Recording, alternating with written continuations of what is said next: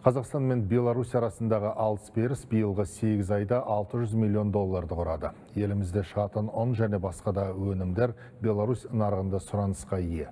Сондай-ақ биыл 9 айда автокөлік тасымалы 19 пайызға артты. Қос елдің премьер-министрлері Минск қаласында келіссөздер өткізді. Олжас Бектенов әріптесі Роман Головченко сауда-экономикалық ынтымақтастық мәселелерін талқылады. Әсіресе бидайды терең өңдеу, құрылыс индустриясы, көлік, IT саласы, туризм жобаларына екпін бере отырып, өнеркәсіп кооперациясы мен ауыл шаруашылығына баса назар аударылды. Бүгінде қос ел үкіметтері өнеркәсіп кооперациясын дамыту бойынша бірлесе жұмыс істеуде. Келіссөздер нәтижесінде екі жақта бірқатар құжатқа қол қойылды.